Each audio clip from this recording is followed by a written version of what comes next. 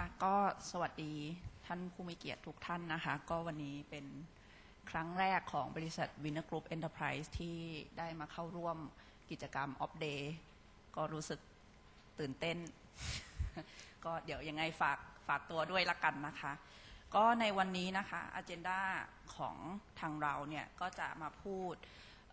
ด้วยกันสามหัวข้อใหญ่ ๆ อันแรกเนี่ยก็คือ Company Profile เพราะเชื่อว่าทุกคนหลาย ๆ ท่านก็คงอยากจะรู้ว่า Winner Group เป็นใครทำอะไร ลูกค้าอยู่ที่ไหน ไม่เคยได้ยินมาก่อนนะคะ แล้วก็ถัดมาก็จะเป็นในส่วนของตัว Financial Highlights นะคะ ถัดมาอันสุดท้ายลำดับสุดท้ายจะเป็นกลยุทธ์ strategy ของทางบริษัทค่ะ ค่ะก็จะเริ่มด้วยตัว company profile นะคะ บริษัท Winner Group Enterprise นะคะ ก็มีทุนจดทะเบียนนะคะ 100 ล้านบาทนะคะ แล้วก็ในส่วนของตัว pair value อยู่ที่ 25 สตางค์สำนักงานใหญ่ค่ะ อยู่ที่อาคารไทย CC Tower นะคะ ถนนสาทรใต้ค่ะ แล้วก็มาถึงคำถาม who is winner winner เป็นใคร เราทำอะไรนะคะ ถ้าจะให้บอกแค่คำสั้นๆ ง่ายๆสองสามคำเนี่ย Winner Group เนี่ยเป็น Trading Company นะคะ เป็น Trading Company ที่มีความเชี่ยวชาญ ความชำนาญทางด้านผลิตภัณฑ์ทางด้านอาหารโดยเฉพาะ ซึ่งผลิตภัณฑ์ของเราเนี่ยก็มีส่วนใหญ่เลยมากกว่า 90%เนี่ยจะเป็นการนำเข้าจากทั่วทุกมุมโลกนะคะ ไม่ว่าจะเป็นทวีปอเมริกา ออสเตรเลีย ยุโรป หรือแม้แต่ในเอเชียก็ตาม แล้วก็จะมีผลิตภัณฑ์อีกส่วนหนึ่งประมาณสัก 10%เนี่ยที่เรามีเป็นการรีแพ็คแล้วก็ผลิตเองในประเทศนะคะ ผลิตภัณฑ์ทั้งหมดตรงนี้เนี่ยเราก็จะไปจัดจำหน่ายใน 3 ช่องทางหลักๆเลยนะคะลำดับที่ 1 ก็คือกลุ่มโรงงานอุตสาหกรรม ซึ่งก็จะเป็นโรงงานอุตสาหกรรมแปรรูปร้านอาหารนะคะ ตรงนี้ก็มี มากกว่า 500 โรงงานนะคะสองก็จะเป็นกลุ่มฟู้ดเซอร์วิสหรือเคเทอริงบางที่ก็จะเรียกว่าลูกค้ากลุ่มนี้ว่าโฮเรกานะคะ อันนี้ก็มีมากกว่า 1,000เอาเล t นะคะ แล้วก็ในส่วนอันดับสุดท้ายก็จะเป็นที่ท่านผู้มเกียรติอาจจะเห็นได้ชัดเลยก็คือกลุ่ม Retail Outlet ไม่ว่าจะเป็นพวก Tesco Lotus The Mall Top Supermarket ตรงนี้ นะคะมากกว่า 3,000 Outlet ค่ะ โดย Winner นะคะก็จะมีวิสัยทัศน์ที่ว่าเราจะเป็นบริษัทชั้นนำมีความเชี่ยวชาญด้านธุรกิจอาหาร ครบวงจรในทุกช่องทางการจัดจำหน่ายค่ะก็เป็นมายสเตนเล็ก ๆ น้อย ๆ ให้ท่านผู้มีเกียรตินะคะว่าเราเริ่มต้นมาจากไหน เราเริ่มจาก จดทะเบียนนะคะด้วยทุน 1 ล้านบาทนะคะปี 1983 31 ปีที่แล้วนะคะ ก็นำโดยทางคุณเจนวองอิสริยกุลนะคะ แล้วก็เพื่อนๆที่มีความเชี่ยวชาญทางด้านกลุ่มฟู้ดไซน์นะคะ โดยแรกเริ่มเนี่ยเราก็จะเป็นการนำเข้าสินค้าประเภทอุตสาหกรรม ขอเรียกเป็น industry product นะคะ ก็คือนำสินค้าพวกนี้ขายโดยตรงส่งให้กับลูกค้าที่เป็นโรงงานอุตสาหกรรมอาหาร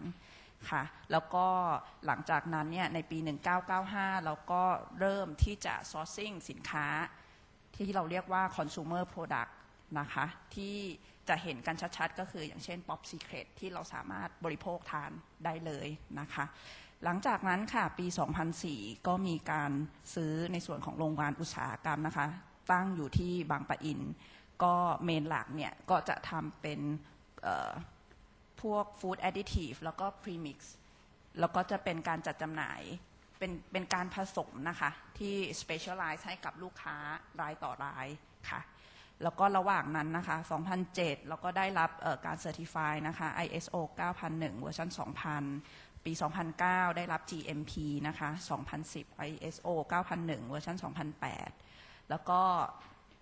ในปี 2013 เมื่อปีที่แล้วนะคะ เราก็ เข้า IPO นะคะเมื่อวันที่ 3 ตุลาคมค่ะ อันนี้ก็จะเป็นประวัติคร่าวๆของทางบริษัทนะคะ ทีนี้ถามว่าแล้วทำไมต้องเป็นบริษัท Winner Group ล่ะ เป็นแค่ Trading Company ใครๆก็ทำได้ เรามีจุดแข็งหลักๆนะคะ ด้วยการสี่ด้าน อันดับแรกก็คือความหลากหลายของตัวสินค้า ที่เมื่อสักครู่พูดไปหลากหลาย ในแง่ความหลากหลายก็คือ มีครอบคลุมตั้งแต่สินค้าที่เป็นอุตสาหกรรม ตั้งแต่ฟู้ดอินก e เดียนไปจนถึงสินค้าที่เป็นคอน sumer นั่นคือพร้อมบริโภคได้ทันที อันนี้เป็นอันดับที่หนึ่งนะคะ อันดับที่สองก็จะเป็น integrated distribution channels ช่องทางการจัดจำหน่ายก็ครอบคลุมค่ะ ตั้งแต่ลูกค้าที่เป็นโรงงานอุตสาหกรรม ร้านอาหาร โรงแรม ไปยันถึงไปจนถึงกลุ่มลูกค้าที่เป็นผู้บริโภคขั้นสุดท้ายนะคะ ถัดมาค่ะลำดับที่ 3 ก็คือเรามีความพร้อมทางด้าน Facility นะคะไม่ว่าจะเป็นคลังสินค้า แล้วก็ในส่วนของโรงงานที่มีจัดเอาไว้เพื่อทำรีแพ็คแล้วก็ผลิตสินค้านะคะ แล้วก็ที่สำคัญที่สุดนะคะก็คือออทีมงานค่ะที่มีเอ่อ technical knowledge แล้วก็มีความมีประสบการณ์ที่ยาวนานค่ะ เดี๋ยวยังไงจะค่อยๆ พูดไปทีละส่วนนะคะ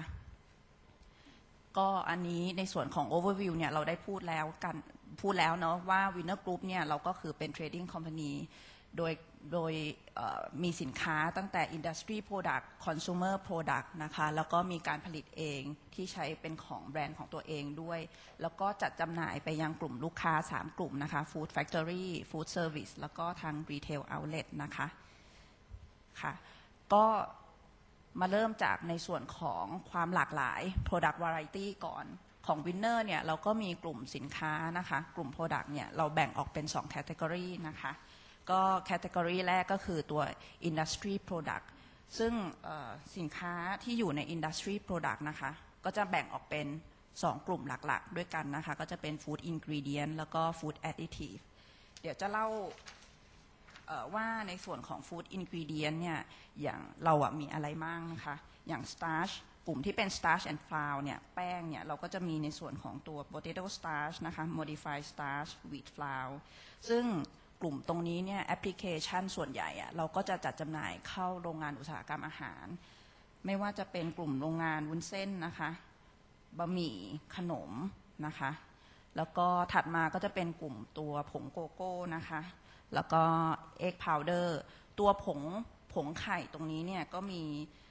แอปพลิเคชันเนี่ยที่น่าสนใจก็คือนำไปใช้ในส่วนเป็นส่วนผสมของตัวทำซูริมิอะค่ะปูอัดนะคะก็น่าสนใจเหมือนกันว่าเอ๊ะตรงนี้มันก็เอาไปใช้แอปพลิเคชันตรงนี้ได้ด้วย ถัดมาก็จะเป็นกลุ่ม Sugar and Sweetener นะคะให้สารให้ความหวานก็อย่างเช่น Icing นะคะ Maltodextrin Aspartame Acesulfame K นะคะ แล้วก็กลุ่ม seasoning ก็จะเป็นพวกมีโมโนโซเดียมกลูตาเมตแล้วก็พวกเครื่องเทศต่างๆค่ะกลุ่มถัดมานะคะ กลุ่ม food additive อันนี้ก็ค่อนข้าง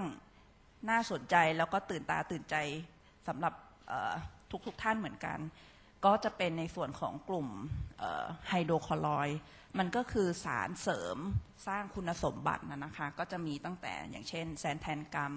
เจนแลนกัมนะคะ CMC เปกติน ซึ่งสารเสริมสร้างคุณสมบัติพวกนี้มันก็จะนำไปใช้ในแอปพลิเคชันต่างๆ อย่างเช่น เสริมสร้างให้